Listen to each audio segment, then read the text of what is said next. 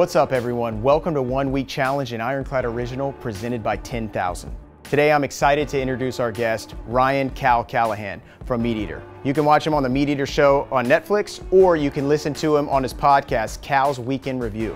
I'm excited to hear his challenge. Get ready. So, Cal, I'm excited to have you on. I'm excited. Uh, I've been watching everything you've been doing. Um, all of us here at Ironclad are big fans of uh, you and everyone at MeatEater.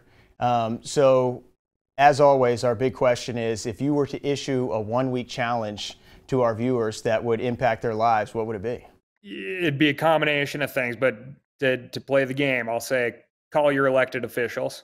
The, these people that are elected and are supposed to represent you, you know, find something good that, that they have done that represents your interests, right? Because we're all we're all kind of selfish, and that's what we really want to call about anyway.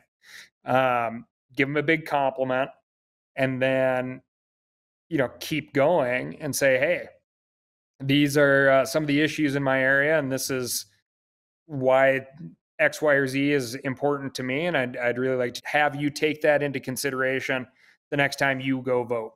Our job is to make sure that these folks that we elected um, whether we voted for them or not are held accountable and and they know that uh, they're there to represent us, right? So if you're not calling, emailing, then you're not doing your job. I like that one. Totally different perspective, um, but it takes uh, ownership and responsibility to another level, and it also uh, increases our awareness and and and ultimately, I like the fact that uh, you know most people, if they didn't vote for that person, it's out of sight, out of mind. I can't stand that person. I love the perspective there. So that's a great one. That is the thing. I mean, it's so much more fun and way easier to sit back and be like, I didn't vote for that person. Like, I'm just going to let this play out.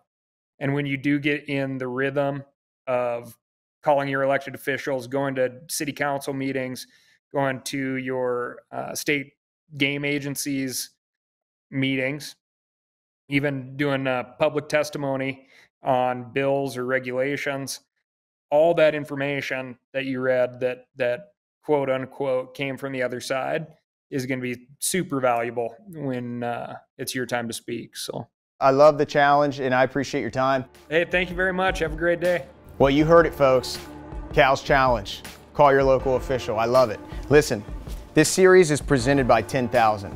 I'm sure you guys have seen these shorts online. I'm sure you've heard about them, but you really need to try them because they are legitimately what they advertise. We love them here. They send them to us and we've been testing them out. You can check them out and buy them at TenThousand.cc slash OWC15. That gives you 15% discount.